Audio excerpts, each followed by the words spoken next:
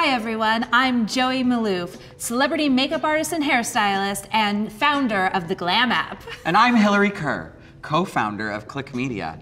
Today, we are going to do a tutorial of a cat eye with a gorgeous, glowy, bronzy look, and we're gonna make coral lip a thing again. It's my signature, and we're gonna show you how to do it. So the first thing I'm gonna do is I'm gonna go into concealer. So like, you know, we already applied like a light tinted moisturizer and I'm gonna keep it because it's really glowy and pretty. And then I'm gonna mix two Chanel concealers and I'm going to do a darker one first. And I'm just gonna kind of do like four lines like that. Why darker first? Um, I just find that um, concealers sometimes turn gray or too cakey, so I use something that has a little bit of a pink tone in it mm -hmm. first, and then I um, apply the lighter one in between. It's very tribal, y'all. Okay, cool. And then I'm gonna take a beauty blender that I've um, that I dampened. Why do people think that you're not supposed to damp it? I don't know. I don't know why. I just maybe like it's a makeup artist trick that became a thing. I don't know. Well, I don't know if you know this, but I'm not actually a makeup artist, so. But I feel like you know so everything. I wouldn't know that. I feel like you know everything about makeup, though. I feel like you're like. I learn from the best. don't know who you're talking about. So then I'm gonna take the whatever like concealer I have left on the sponge, close your eyes, and then I'm just going to almost use the residue of the concealer as a base for eyeshadow. I am a new mom and I don't get any sleep, and so sometimes the eye area can be a little bit red, so it's nice to have just a little bit of a veil there. Exactly, I mm -hmm. like it, a veil. I'm gonna take this La Mer powder, which I literally, I'm obsessed with. What do you like about it? Honestly, I just feel like it doesn't look powdered. I, I was just like, how does that even happen? Non-powder powder. Non-powder powder, and then it just, you just can put it where you need it with a small fluff brush, and I'm just gonna apply it where I applied the concealer. The next thing I'm gonna do is take this bronzer, and you know, uh, everybody has their own way of contouring, but I'm old school, just act play fish. Mm -hmm. Okay, and then I'm gonna take it up, almost kind of just dust it up so that it looks connected to the hairline. And you know, Hillary's face can handle some contour. You can even mm do the dry line if you want. You can do the nose, but I'm, I'm Why do you like a fan brush? I like a fan brush because it gives you that like perfect like kind of laser like vibe, like that like laser line. Hmm. And then I also can like turn it sideways and like soften it. Soften it, yeah. I'm gonna take the same bronzer with a fluff eyeshadow brush and I'm gonna use it as eyeshadow and I'm just gonna contour the crease. And then I'm gonna take a black like marker pen. I go from the bottom lash line and then that's how I create my line. Then I kind of stand back and I make sure like does the eye shape look gorgeous? And then if the answer is yes, then I do the Carry other on. side. Then I do the other side. then I match it. Okay, so look up.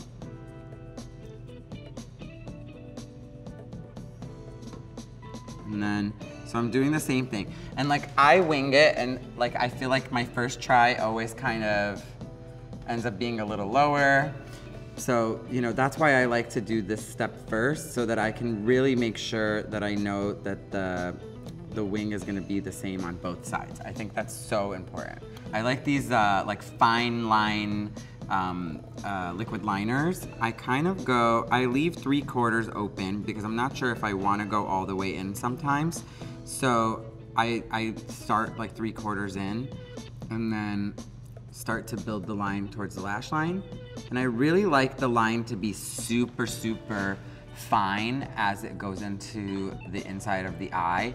I, I just feel like it's really important to keep it because you can always expand it if you need to, but I find that it just looks a little bit, like it looks more attractive when you can't find the line of the, where the eyeliner starts. So then I'm gonna connect it into the line, the outer corner line, the cat eye. Wow. The part that makes it called the cat eye. And then when you do the other eye, you want to do the same thing. You want to start three quarters in, leave the inside corner out, and then just go straight up on the lash line, and then build it into the line that we created with the marker. And then it literally gives you the perfect line that's gonna last all summer long. So obviously classic, like Diorshow is everything. We love it.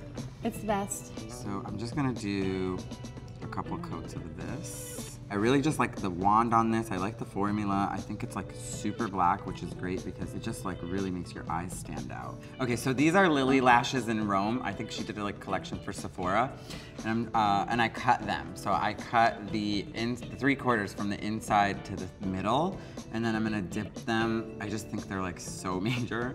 And you literally can do this yourself. You just pop them on, go into the mirror, open, go like this, like really quick, and then like be out the door, like, and you have cute lashes. And then this also amplifies the wing of the cat eye.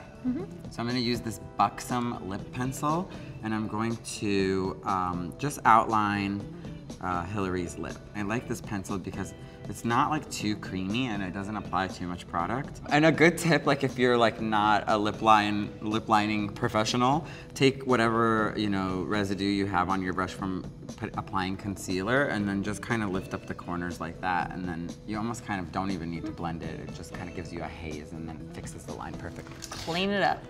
Yeah, so here are these um, these Lancome like shakers. They're Does, does, does this make cocktails also? Yes. so you gotta shake it first. Shake it up. It dries matte, but Ooh. then yeah, you can see like the product. You can really get that like gorgeous, juicy coral lip. And then I'm just gonna take this spongy. Isn't it like kind of refreshing feeling? Yeah. I'm like obsessed with this. So yeah. So yeah, then I'm just gonna almost like sponge it on and mix it together. Yep. And you can be like, you don't have to be like too quick about mixing it together because once it sets, it's matte, but it stays moist for like a second. So then there's this product called Skingasm, and I think this is so genie. It's like a dual product. This side is like a lip balm that comes out that makes uh, your lips matte, more matte if you want it. And then the other side is a glassifier. And I was just like, that is so smart. Like, This I is love like Alice options. in Wonderland. Like, eat me, drink me. What makes you small, what makes you big. Yeah, so I'm glassifying the lip because in the summer, what is more gorgeous than a coral lip that is like soups shiny? Last step. I always do blush last because sometimes the lip can be like enough of color that you don't need blush, but um, blush is our friend. So I'm going with a similar tone, so like it's all corally vibe. And uh, I'm gonna use the bottom of the Beauty Blender, and then I'm just going to um, dab the apples of the cheeks. And I'm gonna just do it subtly. I mean, Hillary can wear blush, that's for sure. My face eats makeup. It sure does. and it says it's delicious. Yum! Okay, so so then I'm gonna take the other side and I'm just gonna almost like buff around it just so there's no like harsh lines and it looks like naturally Oh. flushed and romantic. You don't even need highlighter because we're using a cream blush. So then like it is kind of already dewy and you don't need like a powdery product because you want your skin to look really fresh in the summer. And then you can just like, you know, zhuzh and be out the door. By the way, I just talk a lot, so you could have done that in like five minutes at a red light. I see you girls doing that too. and that's like our gorgeous bronzy corally lip. And it's stunning. Thank you guys so much for watching, and thank you so much, Joey, for doing such an amazing job. Oh my god, we have no fun at all. None. I hope you guys like the cat eye corally lip, and you should try a coral lip because it's everything. Yes, absolutely. Let us know if you like this look in the comments, and please share with us what kind of summer looks you're obsessed with right now. We hope you enjoyed this, and if you didn't, I'm sorry. Bye!